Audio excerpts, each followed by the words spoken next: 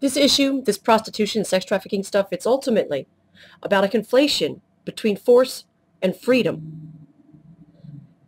And that conflation is codified in the law, in U.S. law, and, and in some state law at this point, and in a few other countries at least, that I know of at least a few. And it's the same conflation that you'll find in radical feminist theory. And people have asked me before, and I've heard it asked of other people, you know, why do you blame radical feminism for this? Did they really do it? You know, are they the ones responsible? Are they to blame for all this mess that you complain about all the time? And and the truth is that yes, they do get some of the blame. They do they get a lot of the blame from where I sit, actually. For example, 12 years ago, a little over 12 years ago, there were two anti-trafficking bills proposed. And they were sort of in competition with each other. And one of them included this conflation. One of them didn't. And radical feminists, some very prominent feminist leaders, radical and not so technically radical, or, you know, wouldn't claim to be radical, but they all came forward in strong support of the bill that had this conflation in it because it had the conflation in it. And they opposed, they strongly opposed the other bill because it didn't have that conflation. You know, and uh, like I saw that video that Diwataman uploaded, Department of State recording, and they had this tutorial or something to teach you about human trafficking. And then they go through this definition of human trafficking, which I thought was really laughable because that was not, the, there's no, there's nothing called human trafficking in the U.S. federal code, in the legal code, and in any of these states where they're trying to put in the new language. The way trafficking is actually defined, the words they, uh, the words they use for the charges, there's, there is severe forms of trafficking in persons, and then there is this other separate section called sex trafficking. Now, the severe forms of trafficking in persons has two subsections. One of them covers a form of sex trafficking, the severe form of sex trafficking, where it includes or requires force, fraud, coercion, or for the person to be under the age of 18, a legal minor. That's how the law is set up. That little tutorial thing was only giving you the definition of the severe form of sex trafficking.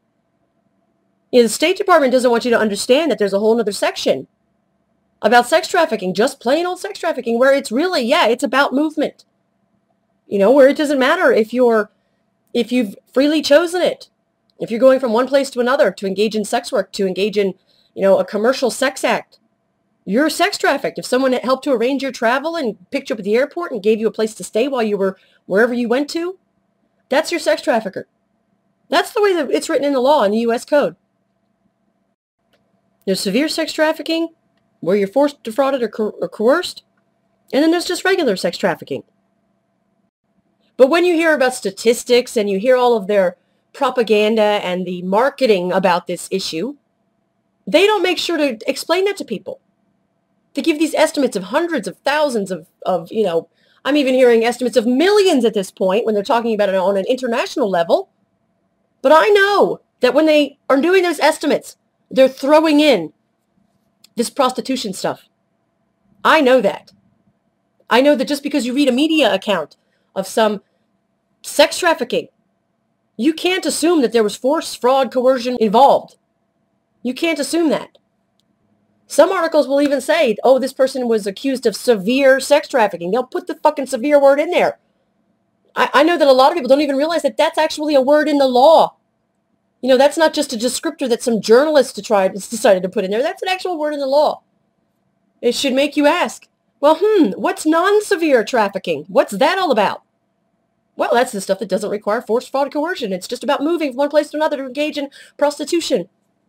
And Boo Boo was right about that definition. And I've been, you know, my head's been spinning watching everybody like, hey, let's prove Boo Boo wrong. It does have, it does require force. No, it doesn't. She was right about that.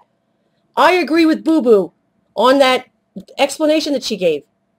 And if I'm agreeing with Boo Boo, if I'm saying she's right, that should tell you something right there. you know? And she'll probably try to backpedal at this point. You know? Because she wants people to think that there's force, fraud, coercion in there. She's she buys into that, you know, the radical feminist conflation of these things, of force and freedom. So yeah, I put blame on those radical feminist leaders who supported that bill and got it passed and insisted on this, you know, choice out of no choice conceptualization of prostitution. I blame them. I blame the antis here on YouTube for being such hateful bitches all the time, for trying to obscure the issues, for trying to misrepresent us and not even tell people what our actual concerns are.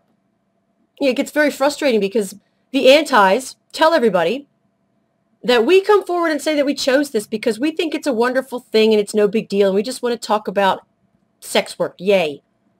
I don't know if the antis actually think that's why we come out to talk about it. But I know they tell tell other people that's why we talk about it. You know, boo-boo going on about, oh, well, if you say it's just sex, then why blah, blah, blah. Because it really, what we talk about, it doesn't have much to, to do with sex. It's about this legal codification of this conflation. You know, we have to come forward and say that we chose it. And we have to come forward and say, hey, we had crappy choices and we still chose it. And we do that because we understand there's this conflation in the law. And they're counting on people remaining silent. They're counting on on them being able to, you know, use these numbers of, of nameless, faceless people who the antis and the abolitionists of the world claim didn't actually choose it. You know, they'll tell you, oh, these people didn't actually choose it. It's a choice out of no choice. They're economically coerced. Don't you understand? Do you really think that's much of a choice? Oh, come on now. Do you really think that's really a choice? Not many people will come back and say, yeah, I do think it's a choice because it sounds heartless and, and terrible. And I know that I sound heartless and terrible when I say it. Yeah, I do think that's a choice. Yeah, I think it's a choice. And I say that because I know that the conflation is in the law and I know that these people, they're using that sympathy that people have they're using it to enable their authoritarian agenda, their conflationary authoritarian agenda. In the way they attack us, it's it's pretty it's it's a really nasty trick because other people out there in the world they see how we get treated. You know, we they see what they say about us and they see the names they call us and the all that stuff. Like uh, in the Divs video, she's talking about Boo Boo had said once, "Oh, these women on these sex workers on on YouTube, they're all psychologically scarred, but let's not push them to admit it yet. You know, people don't want to come to YouTube and talk about this stuff and then have other people speculate on their psychological health. People don't want to come to YouTube and talk about this stuff and then have other people call them a cum dump. You know, you've heard them, you've seen them, the names they call us. Yeah, and, and the people that say this crap, that call us these names, they're the ones that say they really care about all the people who are making these choices you know, because they're economically coerced and desperate. Oh, they care so much. But if those people who you care so much about knew what's really going on in the law and they really knew what's at stake, and if they came forward and said, yeah, I had crappy choices, but I chose it too, these antis would turn around and call them cum dumps too. Because they attack. They'll attack as soon as you stop supporting their authoritarian ideology through your silence. They will attack you and I, I I've seen it many times, and it makes me sad to see people who who come out. You know, they make a blog or they make a YouTube channel and they talk about their experiences. They just want to talk about their own lives and what they've learned and shit they've gone through. And if their stories include these sorts of topics, the attack comes. You know, and these are people who just, like I said, they just want to talk about their own lives and their feelings and their experiences. And it's very easy for these antis to shut those people up if I was just out here to talk about my own stuff and yay, here's what I've learned about life and stuff, I wouldn't put up, I would go away too. I wouldn't, I, they would have scared me away for sure. The only reason I stay here is because I understand about this conflation in the law. And I know that once people understand that, they start paying a lot more attention to this shit. I'm not just here to talk about, you know, rainbows and kittens and this day I cried one time. So yeah, I think that's going to be it for this one. I'm about talked out. So uh, thank you for listening, and I'll talk to you all later. Bye.